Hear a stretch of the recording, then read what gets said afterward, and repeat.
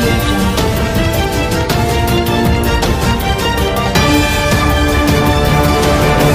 अस्सलाम वालेकुम तमाम दोस्त, कैसे हैं? मैं उम्मीद करता हूँ कि आप सब ठीक होंगे खरीत से होंगे। आप देख रहे हैं शाहिद इकबाल यूट्यूब चैनल में आपका मेज़बान मोहम्मद शाहिद इकबाल, अपने चैनल में वेलकम और शामदीद कहता हूँ। दोस्तों, एक बड़ी खुशखबरी इस वक्त शेयर करने जा रहे हैं। इन लिंग लिंग मिनट्स के लिए बड़ा ऐलान वजी अजम ने कर दिया। एमनास्टी कब तक मिलेगी रिपोर्ट छाया एमनास्टी पर जब बहस हो रही थी वजी अजम ने करंतना का ऐलान क्यों किया? बड़ी वजह सामने आ गई। रिपोर्ट को मुकम्मल देखने के लिए वीडियो को लाइक करें चैनल को सब्सक्राइब करें। वीडियो तमाम दोस्तों में ज़रूर शेयर करें।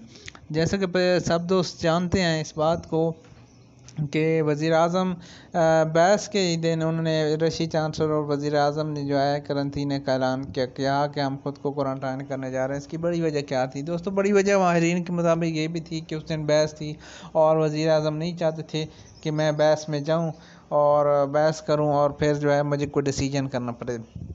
अब तजिए हो रहे हैं, मुकम्मल तजिए जारी हैं और ये तजिए भी किए जा रहे हैं कि एमनास्टी क्यों नहीं दी जा रही?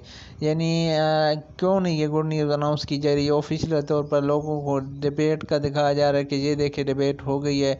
पार्लियामेंट्स में भी चलाया गया कि डिबेट हो रही है, लेकिन उसके कोई मुकम्मल हक़ सामने नहीं देखे आ रहे हैं। जैसा कि दोस्तों आपको पता है, हम भी डे बाई डे आपके साथ न्यूज़ शेयर कर रहे हैं, जो भी हमें ऑफिशियल राय से न्यूज़ मशहूर हो रही है, वो स्टेप बाई स्टेप आपके साथ इस तरह शेयर की जा रही है। लेकिन दोस्तों, यहाँ पर वजह जो सामने आ चुकी है कि वज़ी अजम ने क्यों करंथीने का ऐलान किया? तो यहाँ पर पता है आपको सियासी चालें होती हैं। पहले तो ये दावे हो रहे थे कि एमनास्ट्री सबको मिलेगी सबको मिलेगी। अब तो ना सोलह साल वालों को मिल रही है, ना पाँच साल वालों को कोई ऐलान है, ना कोई दस साल वालों का है, ना कोई बीस साल वालों का यानी किसी भी बंदे के लिए कोई ऐलान अभी तक नहीं किया गया है। तो ये क्या सीन है?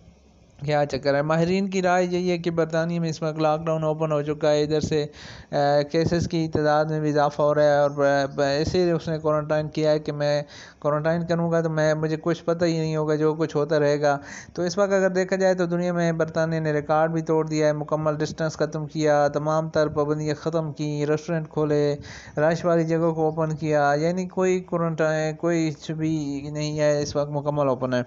तो इस हवाले से भी माहरीन का कहना है कि प्राइम प्राइम मिनिस्टर जो है खामोश हैं और वो नहीं चाहते हैं कि मैं सामने हूँ कुछ वाक़ात हूँ, क्योंकि इस वक्त केसेस की शरह भी इजाफे थे इसी तरह इलीगल इमिग्रेंट्स पर बात की जाए तो अभी तक जो चैनल क्रॉसिंग की बातें करते हैं, ये चैनल क्रॉसिंग से लोग नहीं आएँगे, ये होगा, वो होगा तो चैनल क्रॉसिंग को भी बंद नहीं कर सकते हैं।